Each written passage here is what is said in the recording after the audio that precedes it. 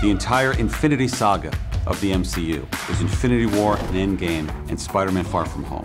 The relationship between Peter Parker and Tony Stark is so special that we needed to see how does Spider-Man step out of the shadow of his mentor Tony Stark and become the true hero that he was always meant to be. Endgame and Spider-Man Far From Home are essentially two pieces of the same story, and it's not over yet until Spider-Man Far From Home.